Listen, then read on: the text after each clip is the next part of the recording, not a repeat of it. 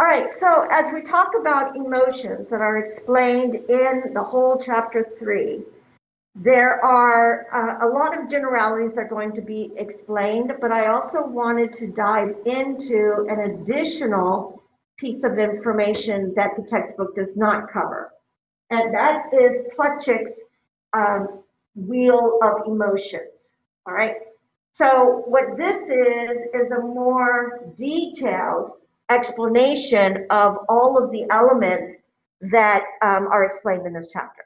Okay. Now, this is going to be foundational because by understanding emotions and how we communicate emotions to others and how we respond to how people communicate their emotions to us is what we call, when it's done effectively, productively, healthfully, emotional intelligence. So today I'm going to introduce you to uh, an amazing researcher named Daniel Goleman, but I'm also going to be introducing you to additional elements that intensify or really personify the whole concept of what we're trying to do. And the bottom line of emotional intelligence is that you know how to behave in certain circumstances.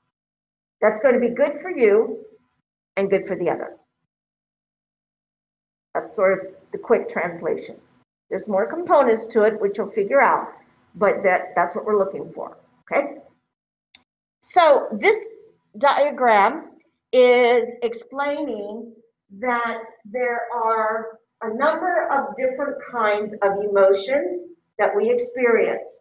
And each one of these goes deeper in color and the deeper you go into the color, the more center you are on the diagram, the more intense is the emotion, the more intense. So everything out here is kind of, yeah, I'm feeling a little contempt toward the person. But when I go inside, when I go in, in, in, in, um, if it's contempt that's going into annoyance, all right, so this would be sort of a secondary, this would be the primary. Then I would go into, yeah, I'm a little, you know, annoyed. Oh no, now I'm mad. And now I get into rage, all right? So you can see, and you know it from your own feelings, that there are gradations, okay, or degrees of how we feel certain emotions. And this um, researcher was able to identify quite a few of them. Now, some of these you think about a lot, and some of them you don't. Partly because you never had a word to reflect your emotion. All right? So, what this is all about is helping you to select the best word that's going to represent who you are. All right. Any questions about this? Make sense? All right, good. Now, I've also given you right here a really good um, link to a website that will go into um, more information. And what's really cool is when you go into this website, you can click on the different ones and get more information so you can see how they get highlighted. So we go from the outside, we go into intensity, and we look at how it's all explained. All right. And when you click on these, then you can go and, you know, really explore them further. So for more detailed information, there it is. So you can imagine when you click on these that you can explore, you know, this is the high degree. If you want to go out into a lesser degree, all right, you can click on that. And then you can see that there are some complementary or opposites um, and opposites that will um, give you even more information. Okay, so this is in your website for you and uh, in your Moodle, and this you might find rather interesting. There is also a short video, which I'm not going to show you, um, that there is a person who talks about the ABCs of emotions, and he is a member of an institute that does research, and it's a very good one. All right. So, no questions? All right, so now let's go to the next one. This is my favorite of all diagrams in all the world, all right? The reason it's my favorite is because this is how we coach people and ourselves to behave in the most effective way possible, but also in the most considerate way. Now, I want to explain how this works because the arrows are important to understand and with the elements. So it always starts up here with the self. The most important thing to do about our emotions is to have self-awareness. And that's why being able to identify the exact emotion that you're feeling in the moment will help you to have that complete self-awareness. All right? So that's part of being schooled is the expression to learn those. So being self-aware means that you accurately assess how you're feeling in the moment. Right? You know there's a difference between being annoyed, being angry, and being rage, pissed off. Now, if you think about that, that's going to be valuable when you're trying to express to somebody. If you tell somebody, Bailey's talking to somebody and she says, uh, I'm really angry at you. Does that sound like she's really angry? No, correct. So the words and the music are not going together. So, uh, and, and a person's going to respond to that word, you know, that she's angry at me, all right? So what you'll want to do is to say, I'm a little annoyed at you right now, or I'm annoyed at you. Okay, doesn't that feel a little bit less intense, like I'm not going to kill you, right? Versus, oh, I am enraged toward you right now. Right? So that's the self-awareness, and that you have the self-confidence to communicate it.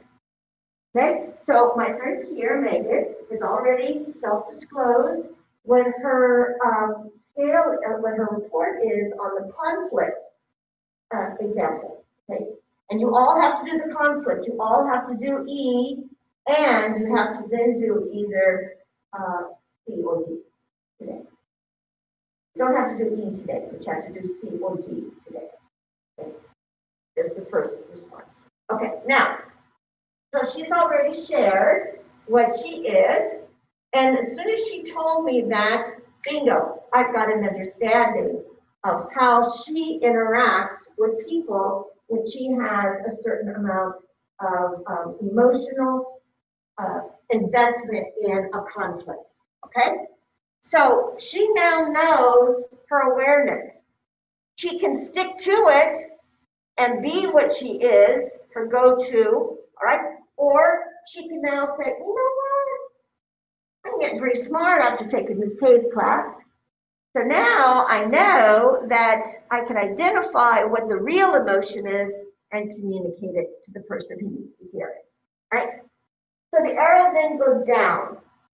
And this goes into, okay, now that I am aware and I have the confidence to communicate it, and I'm able to accurately identify what the emotion is, I am now ready to manage myself. I am now ready to be in control. All right? I can be transparent in that I can tell people non-verbally as well as verbally what the emotion is. However, I can adapt. I can take a look and say, oh, this is a classroom right now. I may be really ticked off at the instructor, but this is not going to be the place and time for me to respond. Right? So I'm going to adapt and pick a better time. Um, and I'm going to do that because I want to achieve a good relationship, good well-being. I want to be able to have a relationship with an instructor that's going to be positive And so the instructor's not going to give me a bad grade. And the ability to take initiative. To not go and hide, do not avoid, do not pout. Right? But to take the initiative to step up and to express what's going on for your heart and your head. All right. Now, from, so you go from self-awareness to self-management, but then you also go from self-awareness to social awareness. So remember I said that you need to be attention to, like we're in the classroom and in front of others, so now's not the time for me to start yelling at my teacher. That's social awareness. That's understanding what's the organizational structure. There's hierarchy, there's peers. Do I want to embarrass my teacher or do I want to, which is empathy? I wouldn't want to be embarrassed. So I'm not going to throw my teacher under the bus right now because that's not being empathetic toward a teacher, even though I'm angry at her. I don't need to be, um, you know, a bully, right? Or an asshole. I love that word. Did you know sometimes people are just assholes, right? And they just, Ugh! so no, you're not going to do that. You are going to have the awareness of the setting, who and where and when you are in the circumstance where you want to express what you want to say. You know, I mean, social awareness. If you want to tell the most important person in your life that you love the person, for some people, doing it on the big jumbotron is not the best idea. Others may love it.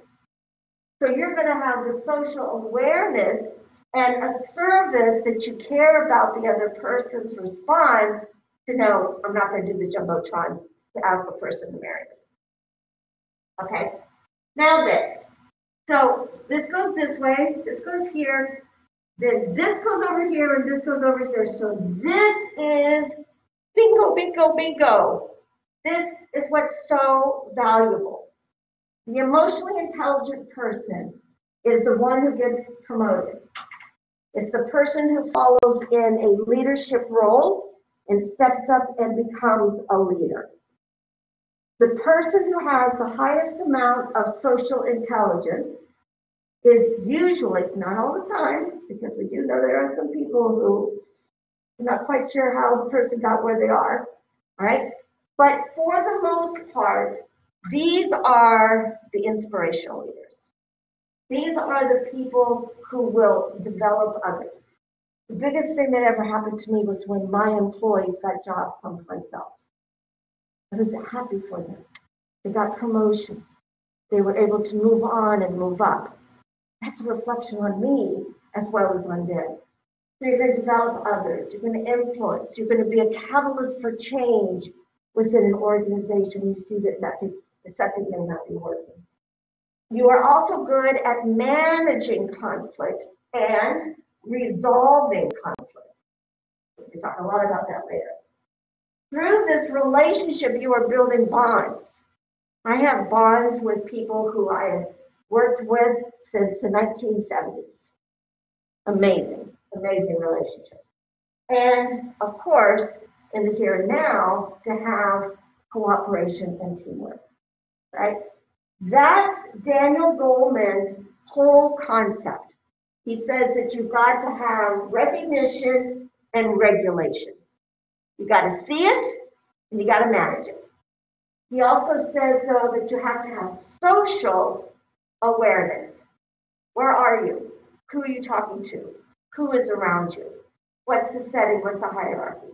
And then he also says, oh my gosh, if you care about the relationship, if you care about you and the other person being in a relationship, then you are going to act in the other person's best interest. Questions? Go ahead. Daniel Solomon? Daniel Goleman. Uh, Daniel Goleman. Okay, so let me turn this off. Oops, that's not the one I want. This one.